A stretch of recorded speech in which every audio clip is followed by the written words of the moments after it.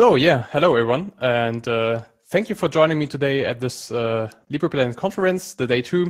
I'm excited to be here, and I'm excited to uh, tell you something about reuse. So reuse provides simple steps to declare your copyright and licenses. But first of all, let me set roughly the frame of this whole talk. So here at LibrePlanet, I assume we are all aware of the benefits of free software. So I do not have to convince you about those. And no matter whether we are developers or not, we all care about all four freedoms of free software. And one of these four freedoms is the freedom to share software. But um, if you're a developer, you might decide, and many people decide, to share their software only under certain conditions. And thanks to free software, we can set different conditions. So we do this by choosing a free software license. They have different types, uh, different settings. But yes, we clarify these conditions for use and reuse. Now, of course, if you're a developer, but perhaps also if you're a user, um, you want to make sure that users and especially reusers, so people that incorporate code into their own software, are aware of those licenses. So, um, but also, of course, about you as a copyright holder, for instance.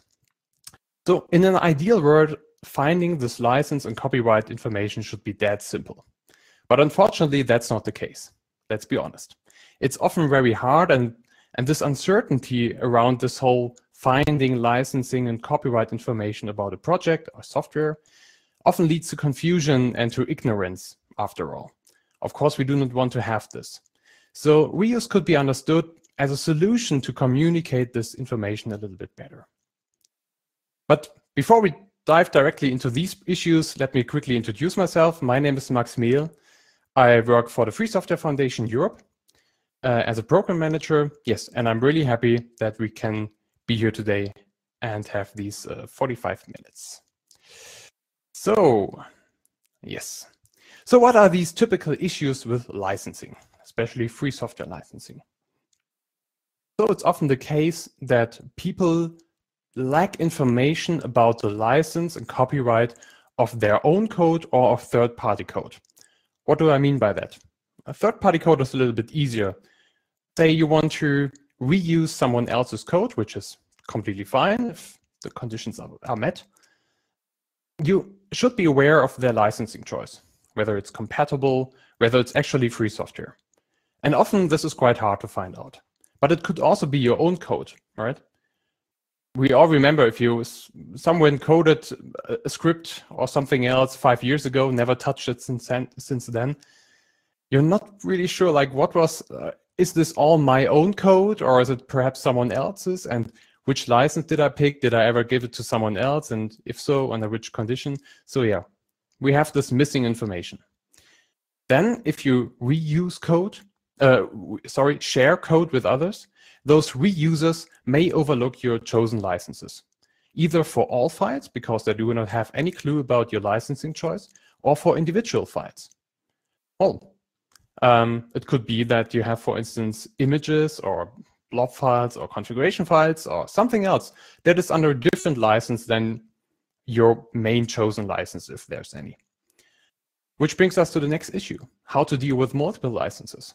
I mean, you may be aware of some guidelines how to set one license for a repository, but what if you have two, three, four, or even more? That's quite realistic.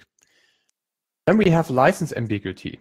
I mean, we are all aware of the GPL license, but hey, there's not only one license, GPL license. There are so many different variants, versions, expression, um, exceptions, and so on. So there's a lot of ambiguity in this area. And now think of if you have a bigger project, like a bigger community, you also want to have your contributors being aware of how you do licensing. Like what's the license? How do you declare it to reusers and users? So you give need to give them some sort of training and need to check that. And like there are so many issues. I like these have been around for ages.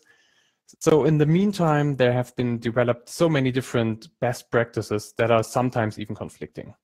So this is the set of issues that we've seen when we, in 2017, at the FSFE thought about how can we do something about this? How can we make licensing and copyright easier for everyone? And by everyone, I mean not only humans, but also machines. There are so many cool tools that help you with licensing and that are used at larger reusers or someone, somewhere else. So we also want to make it easier for machines, but of course also for humans. So that's that. These are a lot of challenges in there, right? And what we came up with are is reuse basically and the principles of reuse. So this is a short summary of what we thought back then would be great to have.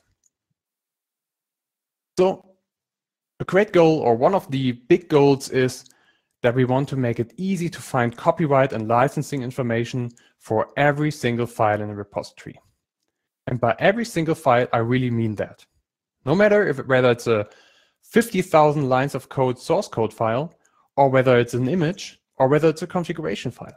It should be easy to find out the licensing and copyright for this file. But we also want to avoid silos. So silos, we often see that in the corporate, corporate area where you have some databases or some cloud services where there's information stored about different software projects. But this is not really good because this might also be conflicting and you have to find it somewhere. So in the, um, in the ideal world, this information about copyright and licensing would be stored directly inside of the repository and not an a version control system, which might be migrated or break, broken or something else, but really as plain text, ideally. We want to have this information readable by humans and machines. I told you that. And we want to be compatible with other initiatives, with other best practices as far as possible. So in the end, we do not want to reinvent the wheel. But the most important point for me was back then to make licensing easy and fun for developers. Easy and fun again, yeah, if it was ever fun, let's be honest, but more easy, more fun for developers, no matter the project size. So whether it's your 10 files hobbyist project, or whether it's a 100,000 files project like the Linux kernel or something else. Reuse should be applicable for all of these projects. And so basically, since it should be simple, we boiled it down to three steps. And these may sound a little bit like naive uh, to you, but you will see that these three steps actually suffice to reach all these or to uh, suit all these principles. So the first point is, and the first step is to choose and provide licenses. That may sound easy, but it's a really important choice. You will know that you should choose a license that matches your expectations, so your conditions. And there are a lot of free software licenses, and you should make a really knowledgeable, knowledgeable choice. And as soon as you made, as you chose the license, or even the licenses, if you want to apply multiple licenses, you have to provide them. And we will see later how to do this. The second step is probably the most complicated and work intensive, which is to add copyright and licensing information to each file in the repository. And the third step again is quite simple. You are asked to confirm reuse compliance. Now, we'll look a little bit into these three steps. So the first step again is to choose and provide licenses. So pick a license or multiple licenses. So as I said, it could well be that you have for your source code, you have um, a GPL version 3 license. But for the images that you created, you may have, have some Creative Commons license. That's completely fine. And you're going to save these license tags inside of a licenses directory. So this licenses directory is a novelty that Reuse introduced, actually. Because, as I said before, what to do if you have multiple licenses? There are different techniques how to do that. Like people traditionally have, if they only had one license, they had a license text file at the root of their um, repository or copying file. But yeah, this got quite complex if you had multiple licenses. So our solution is to provide a licenses directory where every license text file is stored in. And these, to make it even easier, are named after their SPDX license identifier. So Short excursus. What is SPDX? SPDX is nowadays a project by the Linux Foundation, but they started with something really simple. They wanted to provide a unique identifier for every free software license. Because, as I said, there are many different variants, for instance, of the GPL license. GPL2, GPL3, and then the different things. Do you only apply it to, uh, like, do you, do you only say, well, this is um, GPL2 and not any later version, or do you say GPL2 and any later version? Do you also have some exceptions? Well, this is so complex and this created so much confusion because, well, people just wrote it somewhat some in some way into their README files or at the comment headers in the source code files. And so SPDX create, um, provides these unique identifiers for every, uh, for every license that is out there. So in this example, we say, well, we choose here the GPL 3.0 or any later version. And so you store the license text inside of the licenses directory, as you see below. Then the second step is the most interesting one. You're asked to add information about copyright and licensing as a comment in the file header. So most source code code uh, formats support comments, and for the license, we say that you should use the SPDX license identifier tag. So this is a string how tools, but also humans can find out what which SPDX license identifier actually applies. So in the example below, we see that here we say this example file has the GPL 3.0 or later license. For copyright, there are many variants we suggest to use the SPDX file copyright text. That's a tag, also as you see by the SPDX project. Um, we use this because it's quite simple to find for tools, but also for machines. But of course, you can also stick to more traditional copyright lines, like we see also in the last line. So with a copyright symbol or some other variants. So re reuse doesn't mandate anything in this regard. You can use any. But yeah, so in this example, this file as a comment header defines that the file is under GPL 3.0 and has two copyright holders. But now what to do if you have files that do not support comment headers or comments at all, like a JSON file or a picture or something else? We have two alternatives. I would say the most preferred alternative is a separate .license file. So in this example below, we have an image with the name cat.jpg.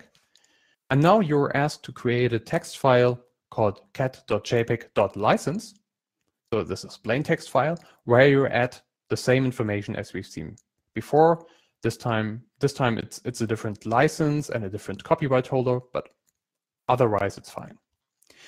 But now there may be cases where you have a lot of binary files, like let's say a, a directory full of icons for your application. 500 icon files that are binary and cannot be commented. Of course, now the first alternative would mandate you to create 500 additional files, like for every single file a separate .license file. Of course, that may not be the best solution. Now we offer a DEP5 file for bug information. Deb5 is a format introduced by the Debian project that we we used here. And so there's one, right now, one file called DEP5 inside of a specified directory where you can define directories and multiple directories with different patterns to um, communicate copyright and licensing for these files. So in the example below, we say every single file in the img images directory should be under the copyright holder, Great Artist, and the license CC BY 4.0. It's a little bit a different syntax than the rest of reuse. We are currently planning to make that a little bit more reuse style and more flexible, but I will perhaps come to that later. So with this, we can make sure, or we have all options to define copyright and license for every single file in a repository. And as I said, also configuration files and something else. Because, because we want to have this un unambiguous and easy to find. And the last step is really simple. You're invited to install, for instance, the reuse helper tool to check for missing information. So it's a quite lightweight uh, Python script, of course, free software. You can check out, check it out, and also contribute. And the simplest command is to run reuse lint, and it will crawl through the whole repository, tries to find copyright and licensing information according to the reuse best practices. And in this example, it tells us, well, everything is fine, you're compliant with the specification. Really good. So to wrap this all up, what are the reuse specialities? What is new or what is different? So as I said, the first novelty is that we store licensed text files in a licenses directory. We thought about this because people complained they wanted to use the or continue with a more traditional license or copying file, only one file, or writing this in the README file. Well, after a few ex experiments and also other specifications that did it differently, we said, well, the easiest really is to have this separate directory. It's unambiguous, it's easy to find for machines and for humans, and well, it just makes sense to store this in a separate directory. A second thing is that, I say it again, we want to have information about copyright and licensing for every single file and ideally as a comment header, because that would be as close to the actual file as possible, but also with alternatives. So that may sound a little bit, um, I would say, really, really strong or a little bit pedantic, but it, it makes sense because, well, otherwise authors just define for themselves, well, for this file, I don't need a, a copyright or a license, but perhaps there should be a license for this. And people want to find out what licenses apply to a repository. repository. So that's why we are really strict here.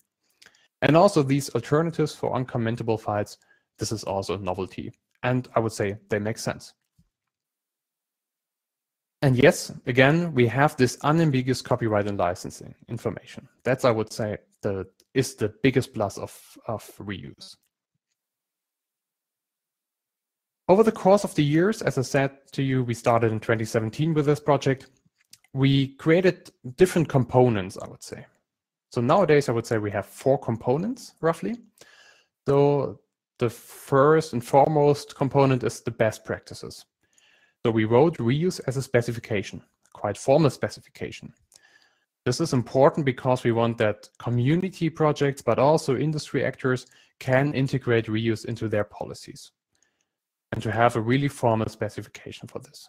But of course, not everyone loves to read like quite dry specifications. Therefore, we created a tutorial and an FAQ section.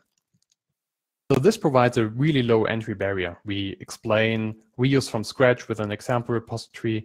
And the FAQ does not only cover reuse questions, but also more general licensing and copyright questions uh, that we are, have been asked for so many times. And then uh, we have the reuse helper tool, which I quickly introduced already. And the helper tool started with having this lint command, just trying to figure out whether the reuse specification is met in the repository. But nowadays, it also supports developers in making their projects reuse compliant. So automatically or semi-automatically adding this licensing and copyright information to headers and these alternatives, but also many other things, generating a bill of materials, and so on.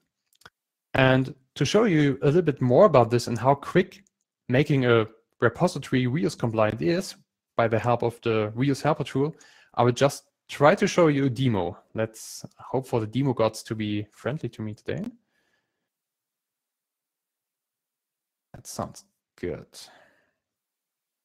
Okay, I hope you see my terminal now.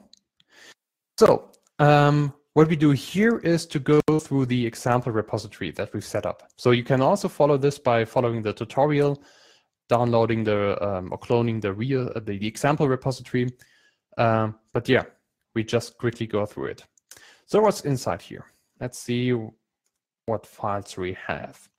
So this is really a simple thing. We have um, a source code file at the very bottom, C file, we have a README file, a make file. We have two binary files, cat and dog, and a gitignore file. So in total, six files, two directories. So let's start with uh, finding out what uh, the reuse helper tool thinks about this repository. Yeah, well, that's not so positive. Uh, let's start from the top. It tells us that these six files do not have any copyright and licensing information. And so, yeah, it's not compliant, obviously, and no license got detected. But we will change that in a matter of a few commands. So we were going to use the reuse add header command from the tool. So we add here to the files the copyright for Jane Doe and with a GPL 3.0 or later license, and for three files, for the C file, for the make file, and for the README file. Okay. And it tells us, yeah, successfully changed the header of the files. So let's find out what happened in this repository by these three commands. So we see here the diff for the three files, and we see that for every single or for all three files, we have this information about Jane Doe as copyright holder and um, the GPL 3.0 or later license in the respective uh, comment type of the file type. Yeah, so that seemed to have worked. Now we add the information about uh, copyright and licensing, in this case for Great Artist, and with a CC BY 4.0 license to all files in the image uh, directory. So note here, we use the asterisk. That also seemed to have worked. So we see here that it got created a cat.jpg.license file and the same for dog. So let's look what we have here. Here we have two new files. And let's see the license and copyright information for the cat image. Yes, so as you can see, it's plain text file. You have the information as you already seen it a number of times before about copyright and licensing. So now we are going to add this information um, that the copyright holder of the git ignore file is again Jane Doe, but now with a CC0 license, because we say, well, we do not really care about copyright of this file, or for some different reasons, we say this file should have a different license. And yeah, it changed the header. Now, what's the situation that reuse sees in this repository? Do you think it's already reuse compliant? Let's start from the top again we see here missing licenses. So we have successfully found three different licenses and different files. But yeah, the license text files are missing. So we didn't download them yet. Therefore, yeah. But now we could, of course, go to the uh, GNU.org or FSF.org website, to the Creative Commons website, and then again, yeah, try to find the license text files. But we could also just run the reuse command, reuse download dash dash all. So we could also download individual licenses, but here we say, well, download every single license that you found in the repository. And since I have internet here, it downloaded the information. And we are going to run reuse lint again. What do you think? Yes, now we are completely reuse compliant. So it tells us which licenses we used and that all six files have copyright and licensing information. And as a small bonus for those people who need it, we have the reuse SPDX command. So this gives us a bill of material. Uh, not really necessary for most, I would say, hobbyist developers, but for lawyers and license compliance officers, this is quite an interesting information. Okay. So switching back. So as you can see that the tool really helps to make this whole process a little bit easier. It's, I mean, in this example, we've seen just uh, six files. But if you have a number of C files in a whole directory, just run the uh, command, the, the, the, tool on all files there with the asterisk, and you will be fine. But of course, check first the information that you actually have. Like if you know that you're only the, the only copyright holder and licensor, that's easier. But if you have a whole project, do not just run the reuse command or the reuse tool over every single file, just saying, well, this should be GPL 3.0 or later, but be sure about this so you don't make an error.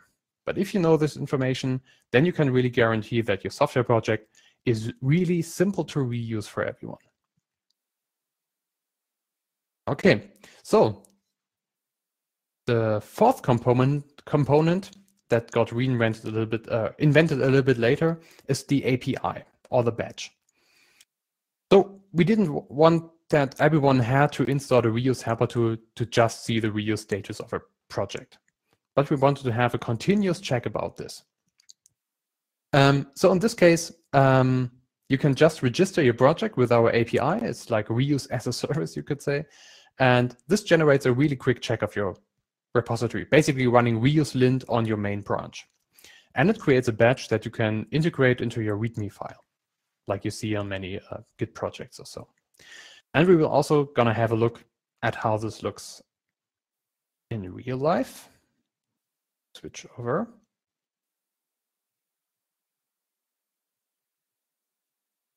Okay, I think you should see, see it now.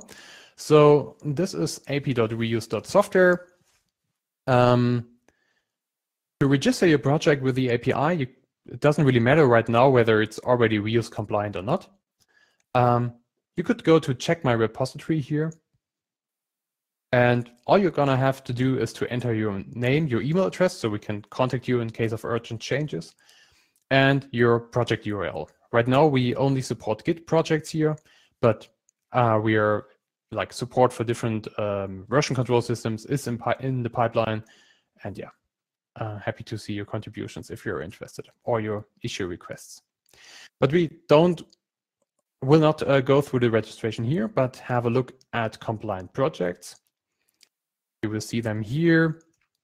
Um, yeah, so we see there are 481 uh, um, repositories that are currently registered to the API. And we just see what the reuse website, for instance, there was a recent change, how this looks like now. So this is the public page for a repository that you registered. And it gives you this pretty badge that you can just copy here as markdown. So it will always show the current status and it will always check after every single commit. You even have for developers, you have a JSON file that you can uh, integrate into your further services. And it gives you basically the, the last lint output that we've already seen. So in this case, the reuse website uses a lot of different licenses and for 76 files. So that's quite simple. Um, of course, the API suits a different need than the tool. Like the tool can be really easily integrated into um, your CI CD system, for instance. So you can have it also for pull requests, um, while the API is more for, for your public face and to show the badge and well, still having a, an alert if something is wrong from the reuse perspective.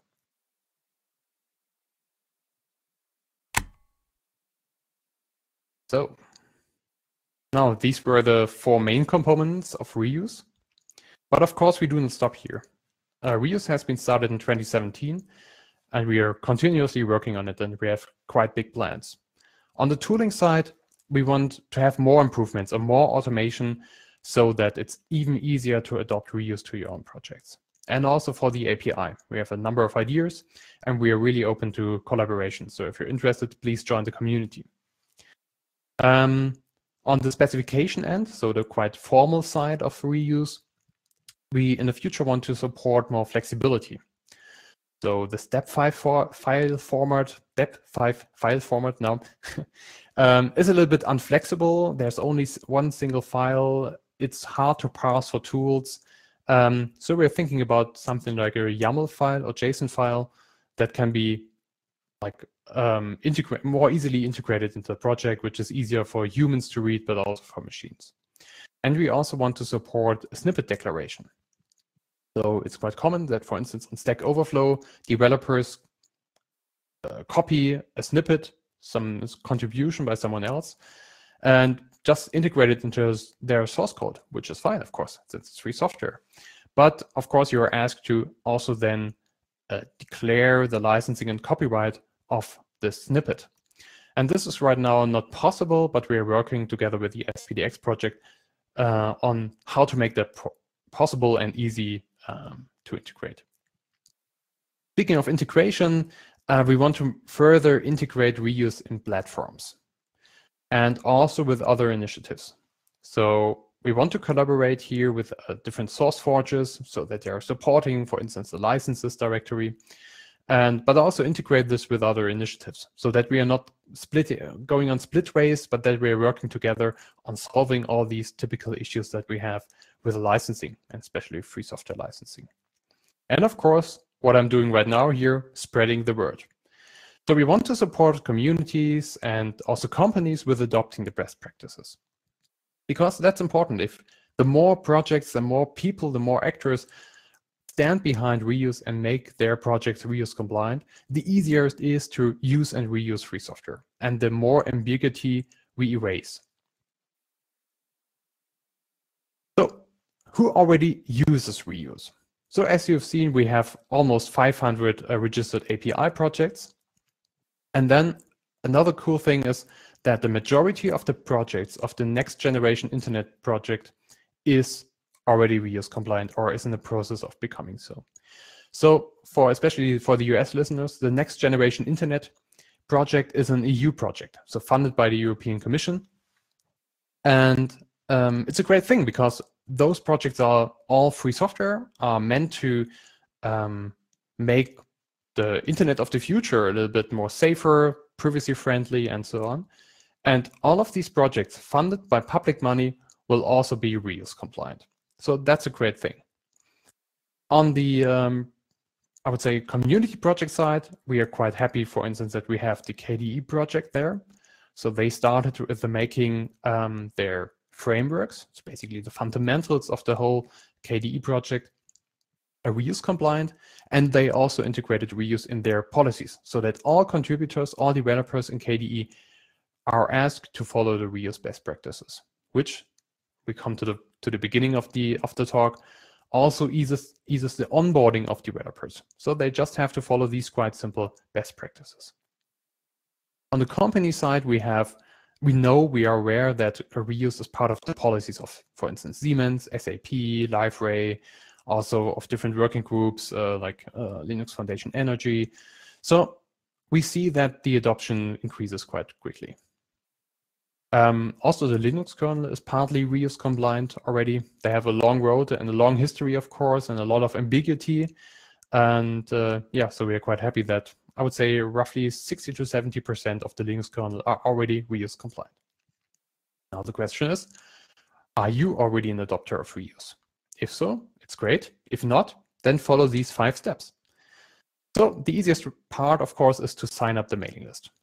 So we have a mailing list for reuse where we, it's quite low, low volume, but where we spread information about the latest releases, but also where we discuss about the next steps. So Reuse is a quite collaborative and open project. So we ask for feedback there. You're happy to um, or invited to share your feedback and also your proposals for the next iterations. Then the next step would be to make one of your projects reuse compliant, actually. As you've seen with the tool and the API, that's quite simple. So just try it out, right? And if you're part of a community, try to integrate reuse into the community. For many projects, there are like these contribution guidelines or you can just make this project from the start on reuse compliant to really try to, I would say, uh, invest the time the first time basically to really clear the information to to uh, avoid ambiguity inside of the community project. Try to find out the license and copyright holders for all files and then from this point on go reuse compliant and keep this level because the later you start the harder it will be to improve your licensing and copyright information. Then if you're really convinced of reuse, which I hope you do, then you can contribute code to reuse. So all things we have are free software, are open, are accessible. You can uh, create issues there, pull requests. We are really happy to uh, work with you here. And most importantly, help others to adopt reuse. May it be in your company, in your job, in your community, just help them or spread the word about this. That would be really great. And uh, with this, I would like to end this talk. I thank you for your attendance, and I'm very much looking forward to your questions. Thank you. Um, Hi everyone, this is uh, Stefan. Let me introduce myself quickly. I hope everyone can hear me. I'm the room monitor for this talk. And um, I'm happy to restate the questions that you already put into the IRC channel for the for the Jupyter room. And please go on. Please go on uh, writing questions. And we have about 10 minutes left so I suggest to go quickly. We have many good questions and I try to follow those up and just start with the first one so let's just dive into the question uh, there was one question is there any specific handling of Apache 2.0 notice files.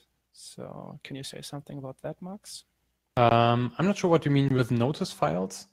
Um, I know, uh, not not really. No, in this case, not really. Um, I mean, we have many licenses, also like MIT or BSD licenses that are customized in a sense. And uh, in the FAQ, we have a few suggestions how to deal with those. Uh, you could, in the reuse term, make this a custom license. And uh, treat it as a custom license where you add this information in the license text file, for instance. I'm not I'm not quite sure whether I, I know what how this works with Apache 2.0, but yeah, this is the whole deal. That could be a way how to integrate this, mm -hmm. especially okay. for MIT and BSD. Yeah. yeah. Okay. Yeah. You're just saying there are so many licenses out there. That is that is true.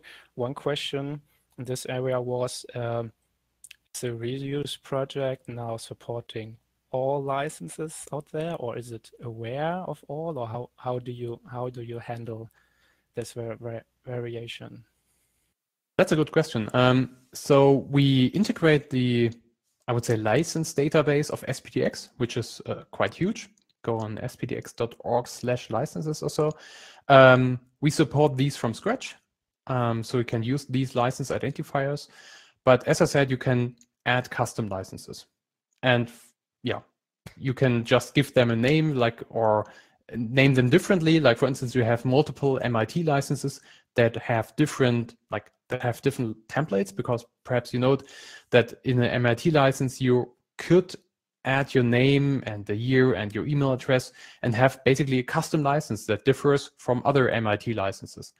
So it's quite simple there to make these custom licenses in the real sense. And yeah, so in practice, it supports any license that you have. But of course, I, I should add this. Reuse doesn't know, is not aware of license compat compatibility. So you know that there are different licenses that are incompatible. So Reuse is not aware of this, especially since we have something like custom licenses. So that's a different step. There are projects out there that try to solve this.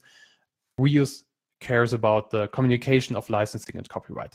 And from then on, other tools and other practices can pick this up.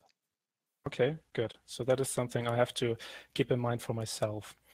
Um, you talked a lot about uh, SPDX, and we have some question about SPDX. Um, so, uh, you know, in, in general, um, stuff like um, mm, um, um, here was one question. Um, most uh, efforts like this, so like like reuse, are controlled by companies and their trade association. So uh, leads to a question. Uh, reuse relies on on SPDX identifiers, which are controlled by Linux Foundation. Um, does it mean is it, is it somehow bound to the Linux Foundation or controlled, or are you are you independent of that? And uh, you know, there's always you probably know that best. There's there's always a high potential of politicalization um, when when you come to those those big foundations like Linux Foundation or something else. No, so reuse is a completely independent project in the sense that it's uh, the FSFE, Free Software Foundation Europe, is uh, yeah, the coordinator of the project. So we kickstarted this, but everything that we have is under a free software license. And we are in a charity organization like our sister organization in the US. Of course, we rely on different tools and best practices, um, like the SPDX project. um, but their specification also is free software in a sense.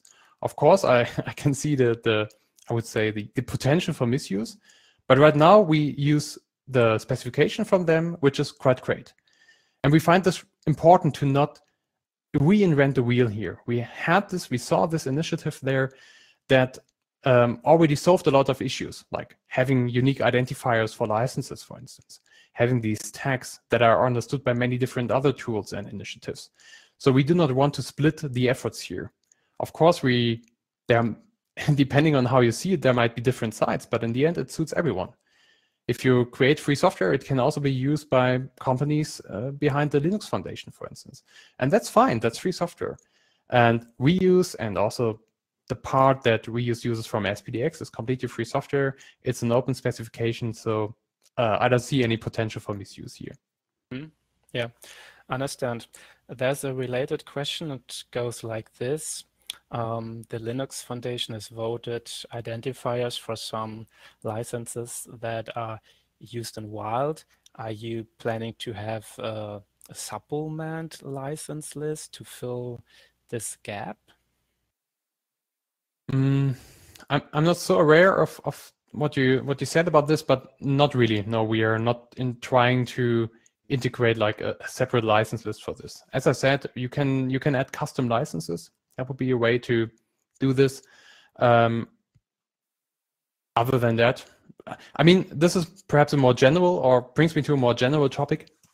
Um, we have been asked so many times about whether we want to integrate more functionality in reuse, like security checks or more meta information. And in the end, we always said no to those things because copyright and licensing itself is already quite complicated.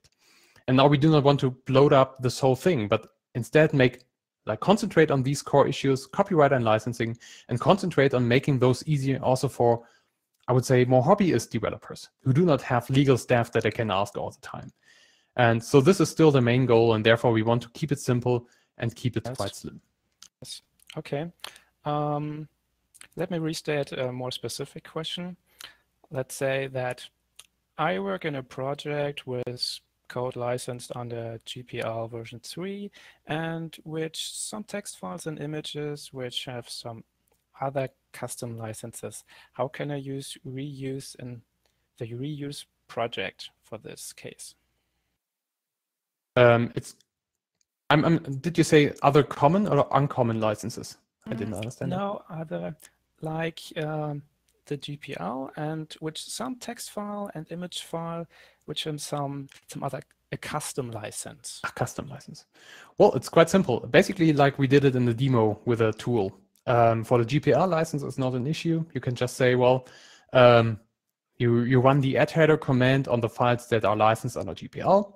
You should decide whether GPL 3 only or 3.0 or later. That should be defined. And um, you can download the license text for this GPL license then. For the custom license, I again refer to the FAQ uh, on reuse.software slash FAQ. There's a section how to add these custom licenses.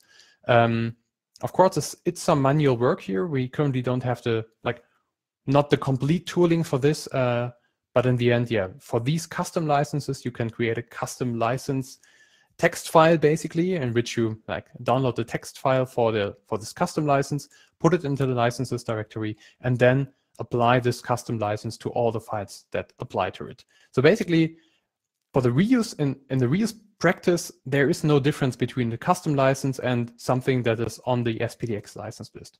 There's also no difference between a proprietary a permissive license or copyleft license.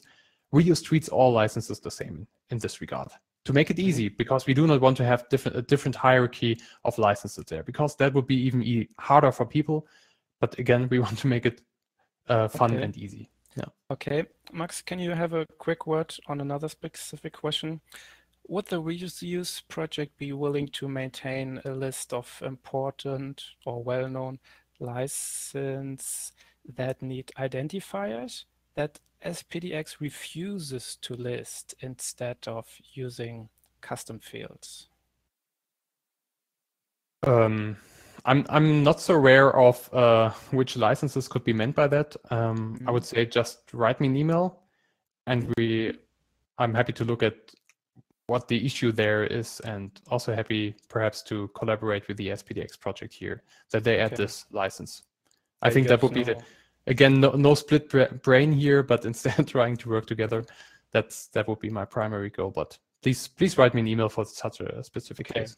So so far, no experience on that. Mm -hmm. Okay. One one quick question about tooling. Uh, can the tooling help generation and maintenance of of DEP5 Debian or copyright files, say converting from to reuse formats?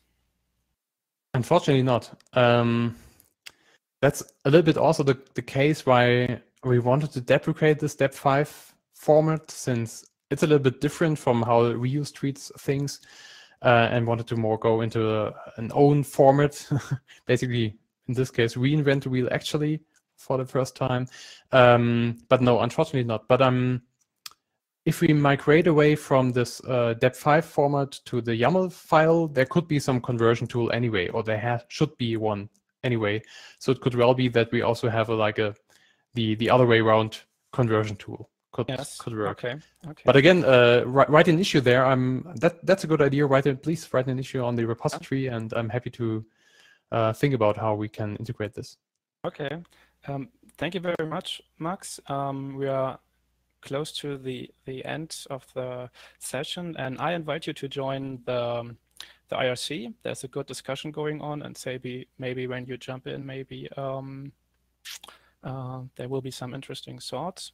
Um, if we have more time, I can we can maybe talk about another general topic. Uh, what is your experience about source forges and their reaction to the reuse philosophy? How you how you store the information with the new directory and so on?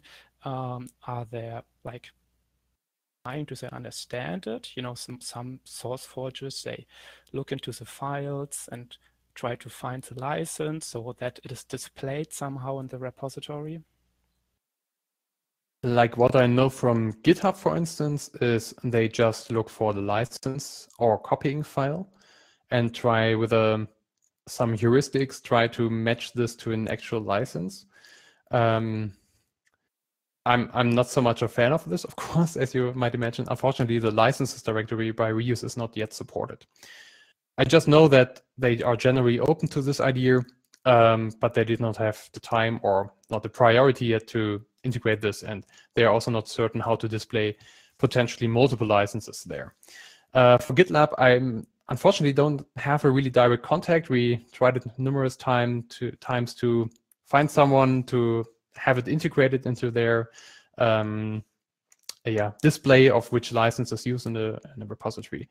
In the end, I, I think SourceForge should not try to crawl the repository themselves.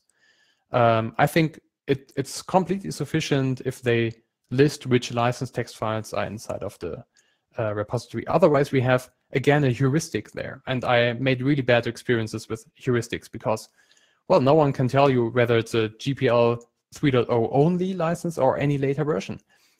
Other smaller variants and exceptions to licenses. So here I think this information should be provided by the repository owners, by the maintainers, because they know best, and not by the hosters of the, so of the source code and not by the reusers. Because in the end, we otherwise we just do it all over again and we should tackle this whole problem of this ambiguity and this um, uncertainty. We should tackle that at the root, and which is the actual project and its maintainers. Okay, good, understood. Um, I didn't get any signal about the end of the session, so we can just go on until someone just let us know that we are off off record. And um, there's kind of a discussion going on about um, about the IDs, the SPDX IDs, and uh, there is probably a big specification behind SPDX. So um, how can I find out about uh, what, like the tags, the tags when I have an editable file and uh, I put the text in the header and how do I find out uh, what tags are supported and how do I find out what identifiers SPDX present and how, how can I learn about that? For the identifiers, as I said, there's spdx.org slash licenses. No promise. SPDX is not my project. Um, but yeah, uh, there's, there's a list of all licenses and all IDs for licenses that are supported by SPDX. Um, regarding the other tags, yeah, the specification by SPDX is quite big. Um, they initially started with an XML formatty thing. Um, we just basically chose or chose these two tags that were interesting to us, namely the SPDX license identifier and the SPDX file copyright text. And uh, with, yeah, basically there are many other different uh, tags that are available. I think okay. some even for upstream contact or so.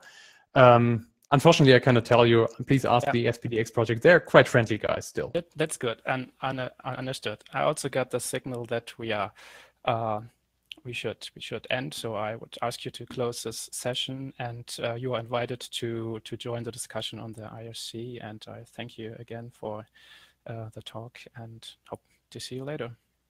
Yeah, thank you very much. I, I just joined the uh, discussion. Thank you.